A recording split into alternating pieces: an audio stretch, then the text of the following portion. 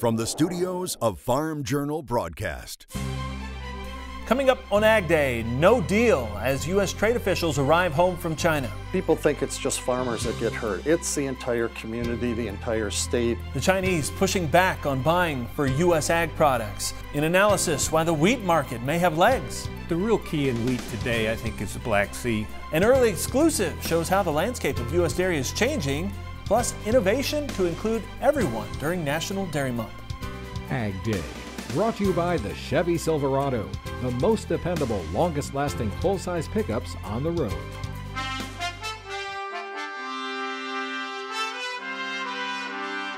Good morning, I'm Clinton Griffiths. Some of the administration's top trade officials are back on U.S. soil after traveling to China to discuss the future of trade. But Chinese officials showing strong resistance to taking more U.S. agricultural goods until broader trade pain points are put to rest. U.S. officials, including Commerce Secretary Wilbur Ross and Chief Ag Negotiator Gregg Doud, were in China to work out the details of China's promise to purchase more American farm and energy products. However, those details remain on hold as China says it won't buy more goods as long as the looming $50 billion worth of tariffs are still on the table.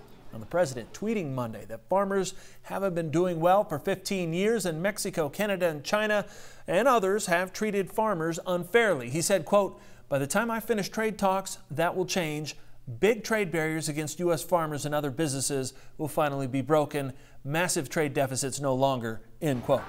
The soybean growers, pork producers, and cheesemakers worry businesses will suffer from retaliation if the U.S. moves forward with those tariffs. It's our second largest uh, export market, and it will uh, re reduce sales. There's no question. If there's tariffs imposed, people think it's just farmers that get hurt. It's the entire community, the entire state, the entire upper Midwest where agriculture is so important because Eh, we're not living uh, alone out on the farm and not seeing anyone. We are connected economically to our, our entire population up here. And so, um, are we going to get hurt? I hope not. No matter the outcome, economists say there are certain products like fruits and nuts that will continue to enter China. It just may not be a direct path to get there. You'd be surprised a number of these commodities have gray channels that will get into certain markets. Even if, even if something were to happen to NAFTA, even if something were to happen in, in our talks with China, and, and for whatever reason, uh, that whole relationship, you know, completely fell apart and deteriorated. There's a number of growers out on the West Coast, if you were an example in the almond industry, would say, you know, those commodities will eventually get to where they need to get to in China. Walnuts is a perfect example. Almonds is a good example. Citrus is a perfect example. China's exports go down, Hong Kong's exports go up. Okay? And that's the result of these gray channels where these commodities actually get in where they are intended to go to, but they don't always get there in a direct channel. Unlike other commodities like corn and beans. In places like Russia, trade restrictions and sanctions continue to impact food production. Four years ago, Western food from the U.S. and European Union was banned following sanctions against Russia for its annexation of the Crimean Peninsula. And while it caused issues early on, locally produced meat, cheese, and fish is now flourishing. Since the sanctions, um, uh, there's been a lot more um, focus on local food. Um, since uh, we couldn't import um, uh, meat or uh, cheese anymore. Um, and uh, meat from certain countries uh, became uh, prohib prohibitively expensive, only affordable to really rich people. a lot of farms that already were in place in Russia started developing much faster and started producing much better quality product. The government also pledging to encourage domestic production, offering loans and subsidies for the agricultural sector. Now, Russia is one of the world's largest grain exporters. It's also become a major supplier of meat to world markets. Agriculture is just days away from a major change in its agribusiness sector. That is Bayer plans to close its purchase of Monsanto Company this week, doing away with the Monsanto name. It's a $63 billion deal that's been in the works for several years now, but Bayer says it plans to officially buy Monsanto and close the transaction on Thursday. While the new company will be known as Bayer Ag, the merger isn't complete until the big divestitures happen. Most of those properties are being sold to BASF. And leaders from both Bayer and Monsanto say while the financial transaction is taking place this week, the two companies will continue to operate independently for an interim period. Bayer saying last week that all of the spinoffs and divestitures are expected to take about two months. Once the assets are sold, then Bayer Monsanto will begin to integrate. USDA releasing an updated crop progress report for the week. Corn planting is all but wrapped up. At 97%, it's ahead of the five year average now. Michigan and Pennsylvania are still behind, but making progress. Nationally, the corn is rated 78% good to excellent. That's a tick lower than last week. In Iowa and Illinois, those crops are both at 81% good to excellent. We've really had some some prime growing conditions uh, for the corn and beans. Uh, we've, we've caught some pretty timely rains, um, and that's just today. We were able to catch another half inch of rain, so things are looking absolutely great. And uh, if things continue, uh, straighten up to be a, a, a great year. Soybeans, they're now 87% planted, 12 points ahead of the five year average. Cotton is back on pace with three quarters of that crop now planted. However, what's in the field is struggling. Only 42% of the crop is rated good to excellent. And winter wheat harvest it's rolling along. 5% has been cut. Texas is about a third done.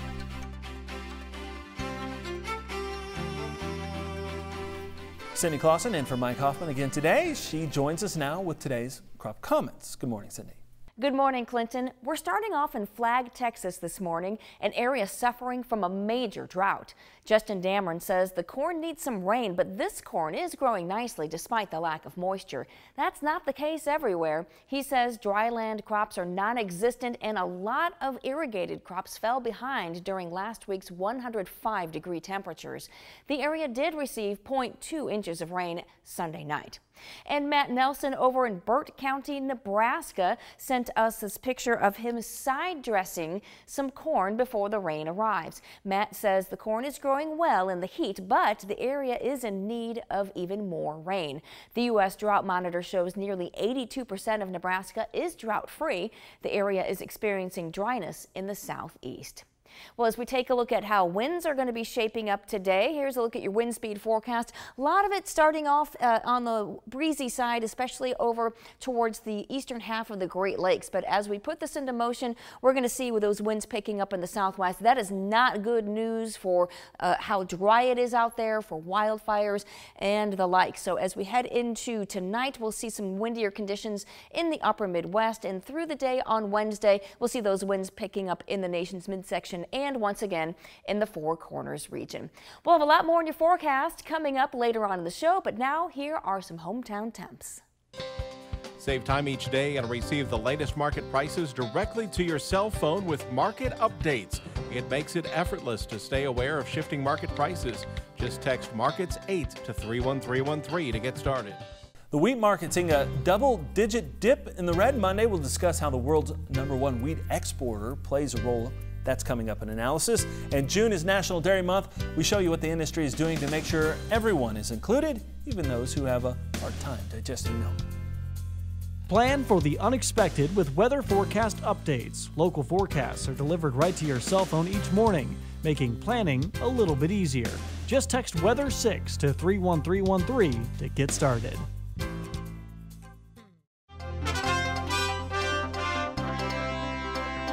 John Deere is suing Precision Planting and AGCO over claims of patent infringement.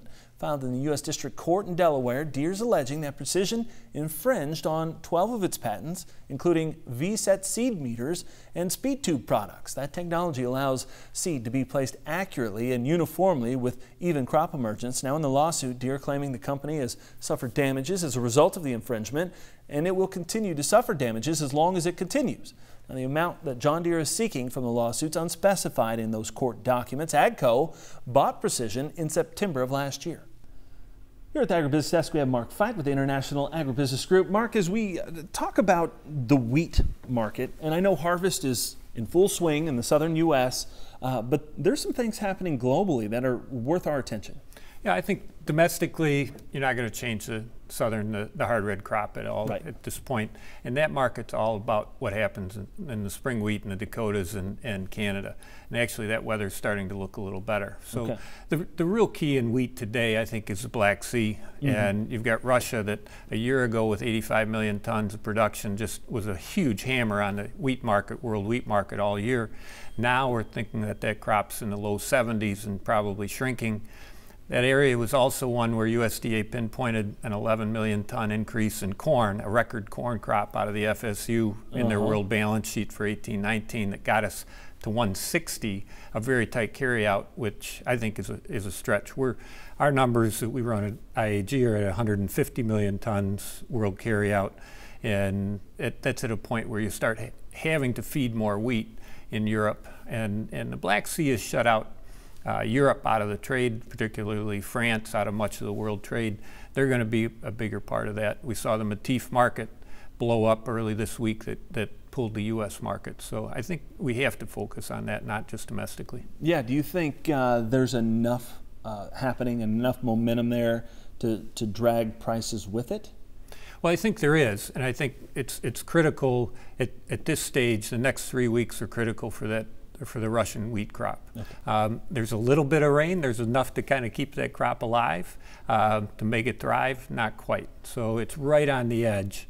And I, I think we've already seen the market respond, and we're at relatively high levels because of some of the problems we've had in the U.S. and, and in Europe. Now, can we take it to the next level?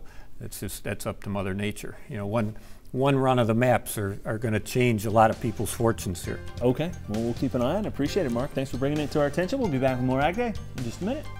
To talk to Mark, give him a call at 248 715 9222 or send him an email at mfight at iaggroup.com.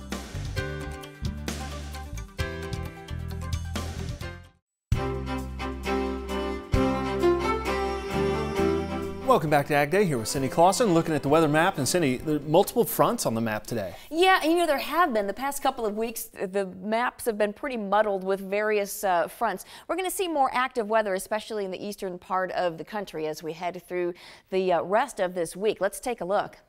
As we start off looking up towards the Great Lakes area, we do have a front that's going to be cooling things down once again as we head through the day, starting off with a little rain there. We've got a stationary front across Florida into parts of the central and western Gulf Coast states, so look for some showers and thunderstorms there. High pressure kind of keeping things dry in the middle and into the Four Corners region. Maybe a little bit of moisture in the northwest as a weakening front approaches the Pacific Northwest. Moving into this evening, low pressure moves on off to the east. Another high moving into the Great Lakes area. We're going to start to pick up some moisture though as we get into Tuesday night and Wednesday into the upper Midwest. We're going to continue with the chances for some showers and thunderstorms kind of along that stationary front in the southeast. High pressure settles in. Nicer day for the eastern corn belt on Wednesday. We're seeing fairly dry uh, conditions in much of the plains states and especially western parts of the plains really need some of that rain. We may start seeing some of that picking up as we get into the latter part of Wednesday. Here's a look at your precipitation estimate. The past 24 hours, it's been fairly dry across most of the country. The tail end of that stationary front's been producing some showers and thunderstorms in parts of eastern Texas and into Louisiana as well. The northeastern quadrant of the country has been getting some showers and some thunderstorms tiny bit off in the northwest. As we uh, finish off the next 24 hours, it's really going to be that stationary front. We have a lot more moisture available down in the Gulf Coast states, and we'll see some showers and thunderstorms in the northeast, but fairly very spotty stuff along the rest of the northern part of the country. Still very hot in the southern plains. We're looking at 90s, even into triple digits, but look how much cooler it is in the Pacific Northwest and into the Northeast. You can really see where that ridge is built into the nation's midsection where we're seeing 90s all the way up into parts of North Dakota. Then as we head into the overnight hours, we're going to see those temperatures dipping down into the 40s in some locations in the Northeast. Still really mild overnight low temperatures right under that ridge in the central part of the country. Heading into tomorrow, we cool down a little bit on the northern stretches of the plains, but still pretty hot as we see a lot in 90s, maybe even some triple digits, especially in southwestern Texas. Taking a look at that jet stream, you can see that ridge right up here in the nation's midsection, a couple of troughs in the northeast and into the northwest. The ridge will kind of build a little bit and flatten out on the top, but notice how everybody gets warmer by the end of the week, especially as we get into Monday. Look at the, how high that ridge gets up into Canada. That is going to be some pretty big heat as we get into next week. That's a look at your national forecast. Now let's check on the weather where you live. Mountainair, New Mexico, sunny and warm for you today with a high of 89 degrees. Heading over to Cotton Valley, Louisiana, showers and thunderstorms with a high of 86. And Due West South Carolina, plenty of sunshine with a high of 82. Still to come is Canada signaling it's loosening the leash on its domestic production, plus why one economist says the landscape for U.S. dairy is changing. And later, a milk quenching consumers' thirst for more digestible dairy. That as we head in the country. In our dairy report, NAFTA negotiators haven't given up on reaching a deal, but fresh tariffs and pressure from Washington is making for challenging negotiations. As we mentioned last week, President Trump announcing plans to move forward with tariffs on aluminum and steel for both Canada and Mexico. The news throwing a wrench in current NAFTA renegotiations. Canada's Prime Minister Justin Trudeau saying over the weekend that Canada would consider more dairy access, but says discussions have been stalled because of the U.S. insistence on a five year sunset clause and other topics. President Trump, meanwhile, continuing to raise the prospect of separate trade deals with Canada and Mexico, arguing that they are two very different countries. Now, as tariff talks remain, Farmer Mac says global demand for dairy is at healthy levels. That includes with major markets like China and Mexico. In an early exclusive from Farmer Mac's The Feed, demand for U.S. dairy rebounding in foreign markets. That's as world prices have caught up or even exceeded U.S. prices in early 2018. The volume of U.S. dairy exports set a new monthly record in March, with China's buys up 18%, exports to Mexico surging 20%. While Farmer Mac anticipates the competitiveness of U.S. dairy products to support milk prices in the months ahead, Curt Covington of Farmer Mac says the U.S. dairy industry is divided. This dairy sector and this dairy industry has become very bifurcated. You have the very high efficient consolidated operators who do a marvelous job of controlling their expenses, marketing. Uh, they have all of their costs, you know, uh, in, in, a manageable format that they can keep, right? That, that, that, that they just have excellent bookkeeping. You've got the ones on the other end that are smaller dairies that have very little debt, may have a boutique operation where they're bottling their own milk, or they may have a special contract uh, with, with local producers. And so they continue to survive because they've, they've got a niche market. Covington says milk prices should remain strong through the end of the year, but the two wild cards are trade disruptions and a strong U.S. dollar. If trade tensions calm down, new research shows the Chinese market is a potential boon for U.S. dairy interest. Market intelligence agency Mintel saying that yogurt and cheese sales are on the rise in China. Since 2014, annual retail sales growth for yogurt has risen at least 20% per year. Cheese sales jumped 15 to 25 percent from 2015 to 2017. Mintel is forecasting the dairy market to grow by more than 6.5 percent in value every year for the next few years, growing up to nearly $80 billion by the year 2022. When we come back, we'll continue in the dairy aisle and a type of milk gaining popularity. Ag Day, brought to you by Top Third Ag Marketing, Farmer First with a plan for every market.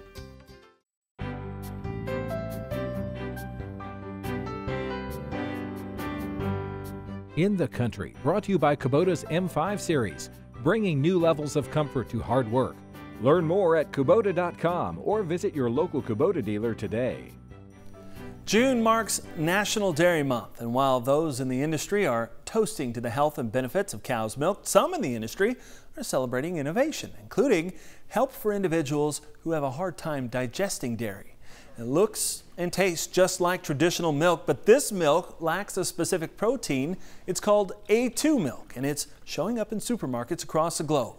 Most cows produce milk that contains both A1 and A2 proteins, but some cows naturally produce milk without the A1 protein. And it's that protein that some claim causes bloating and other symptoms for certain people. But scientists are not yet convinced. At Syracuse University, biology professor Margaret Voss says there is not enough evidence yet to draw conclusions. There may be individuals that produce enzymes that cannot properly digest A1 milk, so it is plausible. But in terms of the science, right now, the level of the science is, uh, it's just not where it needs to be. We just don't have those clinical trials. However, momentum is gaining as the so-called A2 milk is showing up in supermarket coolers, and now producers hope consumers will pay an extra dollar or more for a half gallon of A2. It contains uh, only A2 protein in the milk, which makes it easier to digest. The Ripley Family Farm in upstate New York retails its milk locally, but international companies are also involved. Nestle recently launched an A2 infant formula in China, and the Australia based A2 Milk Company is pushing to expand its U.S. presence into the lucrative Northeast market. And there you have it. That's all the time we have this morning. We're sure glad you tuned in, spent part of your day with us. For Cindy Clausen and all of us here at Ag Day, I'm Clinton Griffiths. Have a great day.